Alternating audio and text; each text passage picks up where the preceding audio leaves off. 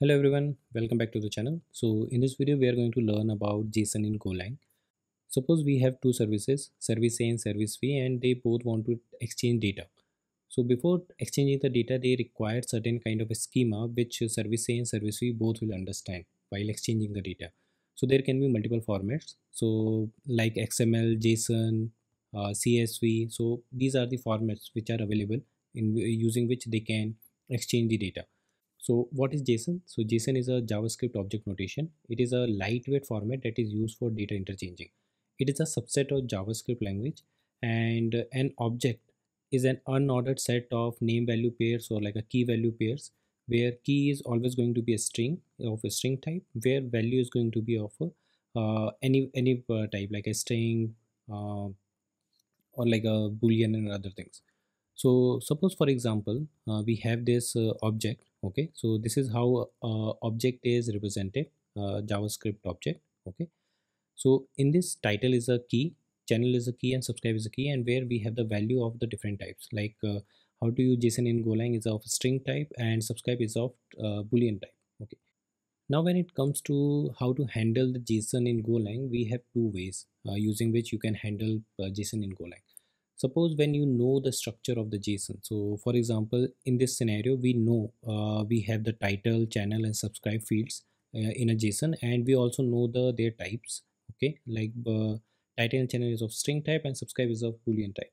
So in this scenario we know uh, what's the json structure is going to be. So for this particular scenario we can define a struct value okay? Uh, struct type which we can uh, simply map like okay title field we can map to a title field channel field to channel and subscribe to subscribe.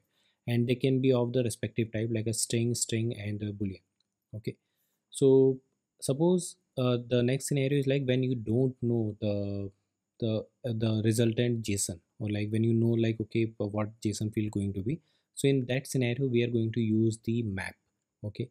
So the map is going to be of a string and interface type. Okay and uh, both these scenario we are going to cover in this tutorial. So stay tuned till the end. And uh, in the whole tutorial uh, i'm going to add few tips and tricks which can uh, which can help you to work more efficiently with the json uh, in golang. Okay? So with that note let's start. Let's first start with uh, how to convert a struct to a json. Okay? So suppose we have a struct field struct of type person. Okay and it has name field age location. So let's just first uh, define a person okay of person type where name going to be suppose practice go okay uh, age going to be like uh, one year and location uh, going to be suppose we have India okay. So this is uh, our basic person type we have just initiated okay? So now to convert it into a json field so right now it is in the struct so what we first have to do is like we have to use a package called json okay? Which is inside encoding package okay? So this is encoding slash json and under json we have one uh, function called marshal okay? So this marshal you can consider as like we are encoding the struct to a json field okay? So let's just encode the marshal okay? Uh, sorry encode the person. And it will return two things. Uh, first is like the bytes and error okay? If we just hover on it we can see like it is returning an array of byte and error okay? So suppose we'll just handle the error. Error is not equals to nil and uh, if there is any error we'll just fatal okay? And so right now this uh, byte since is it is in the byte format. So to printing it uh, let's just use string and we'll just converting it the byte into string. Okay. so now just use go run main.go and if you can see it has converted our struct field the person struct into a json field. Okay so here it is.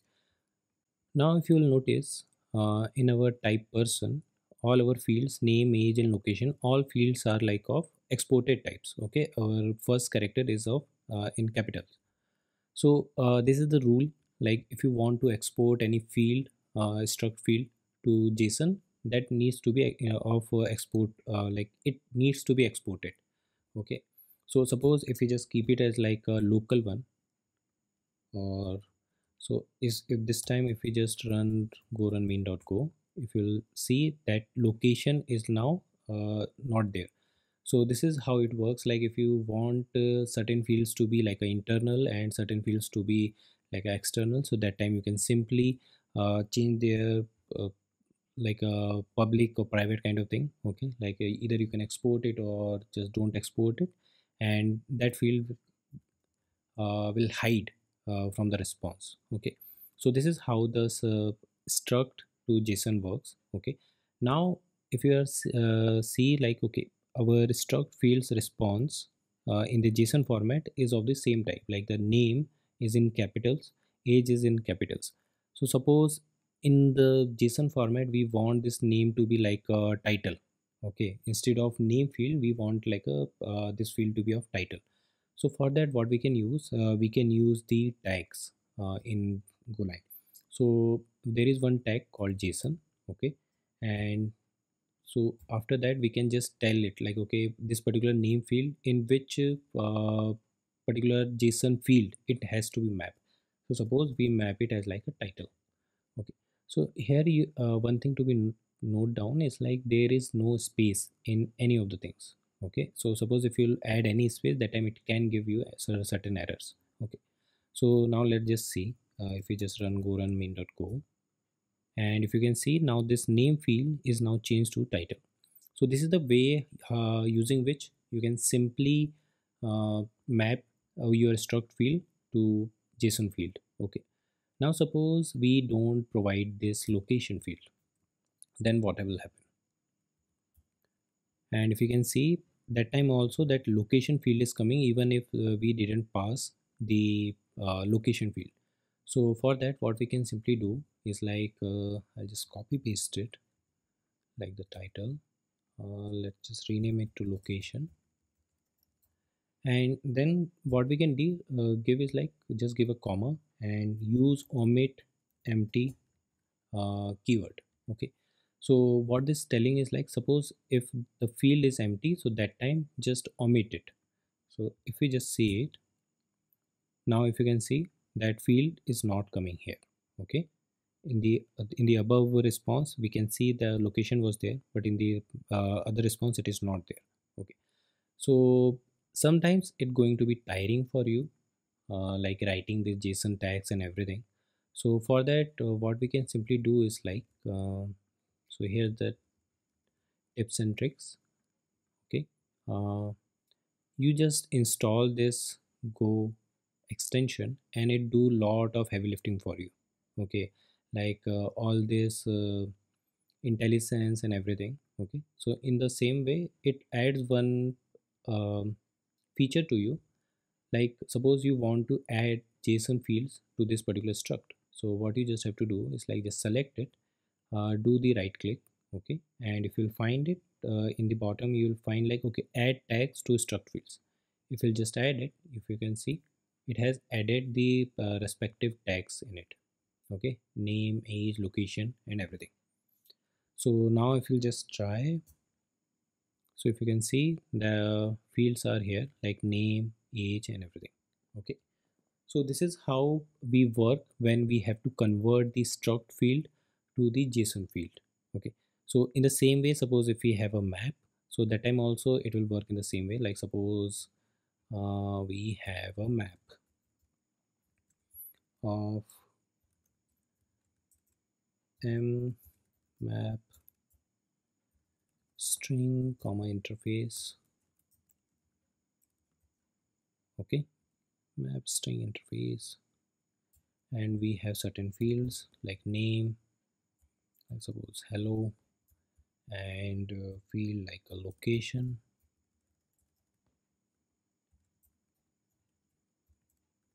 India. Okay so now again we have to use the same thing. Uh, we'll just uh, marshal it. Okay. And this time we'll just give it the map. And let's see the the output. Go run main.go let uh, let me just clear the response. And see it has uh, mapped this particular map into the json format so this uh, json encoding is used uh, it is doing all the hard work underneath so now in the same way uh, we have one more thing uh, called unmarshal. So right now we just covered how to convert a struct field and a map field to the json okay? Now in the same way we will see how to convert things uh, into the uh, struct field. Like suppose you have a json response okay? So that how to uh, convert it and map it to the struct or the map. So you can call this uh, json marshal as a encoding thing okay? You are encoding the your uh, struct field or the go thing into the json and when you are reading the json so that time you can say like okay it is like a decoding it. You are unmarshalling the data from the json to your struct field or a map field okay? So let's just comment it okay and suppose we have this json. Let's reuse our response. Suppose we have a j variable of uh, array of byte okay? And uh, it has a json string of name practice go age and we'll just add one more field called suppose location okay? And it's going to be India. Okay? And just a closing bracket curly okay so this is our JSON okay. So now to mount it so what we can simply do is like suppose we have created a person or person type okay and now we are going to use the json dot unmarshal okay. So here uh, it takes two things. First is the data in the uh, byte format and then the another value going to be like in which we want to mount it or like we want to unmarshal it okay. So here we are giving the person uh, variable. So what you have to do uh, give the byte and then the address of the of your variable. Okay. And it will also give you a error. And let's just handle the error. Not equals to nil. Log dot fatal error. Okay. And if everything goes well let's just print it okay. Let's just say go run main dot. So here we can see is like uh, this name field. Okay. It is kind of mapped to this name. So that's why it is coming like that. Okay. And even if we remove this particular field okay and if we just try it you can see it still mapped it even if uh, that json tag is not there. So what is happening is like even uh, you are not giving the mapping of it it is uh, it is kind of capitalizing it like in this way. And it just see if there is any field available uh, or like present in that particular map uh, sorry uh, in the particular struct. So now suppose if we just change it title okay in this way. And now if we try to run it so if you can see that uh, practice go that title is not present so in such scenario what we can simply do is like we can have a json tag okay? And we can simply tell okay use title. Like if json uh, field name is title map it to the name field okay? So now if you'll see you'll find that practice go is there okay? So now suppose you don't know the structure of the receiving json. So that time what you can simply do uh, you can simply create a map where m map string interface okay? And we'll use the same thing like json dot unmarshal okay? And here it will come as like map okay? In this way. And if we just uh, print the all the map fields uh, so you can see all the map fields are now mapped. So even now suppose if we just change it to suppose first name. In this scenario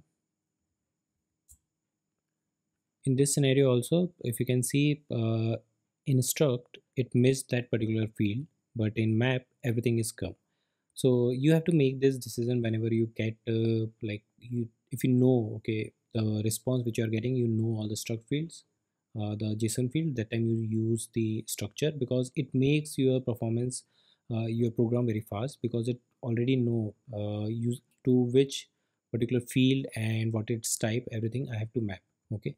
But in case of map you don't know anything and this interface takes lot of memory okay? So these are the few uh, changes you can do to improve the performance of your particular uh, program okay so yeah so these are the things. Now let's come to the uh, part uh, the tips and tricks. So suppose i have uh, okay let me just rename it. Suppose name okay? And suppose uh, now you have the uh, json structure okay? And now for this particular json structure you wanted to uh, create the struct okay so in this scenario we have only three fields but when you will work on a real project there might be like a 50 fields or 100 fields in that particular json. So it's not ideal to just uh, uh, manually type it and everything okay? So for such scenario what you can do uh, go to the extension and you have one more this amazing extension json to go okay by mario. So just install it and after that what will happen is like uh, in the settings okay uh, extension settings there are a few things okay. So like uh, these are already uh, enabled okay but suppose this thing okay paste integration prompt for tape type name okay. So when it is enabled now suppose if i just paste this particular json here okay in the .go file it prompt this uh, uh, json to go uh, thing okay and if i just press the enter it has created that particular type with proper name age location and its json tag and it just asks like okay it is auto generated so you can rename it to anything. Like suppose in this case person one okay in this way. So this is one more thing uh, which will help you in your real projects to fasten uh, how to work with the json. I hope you like this video and please subscribe and i'll see you in the next lecture. Thank you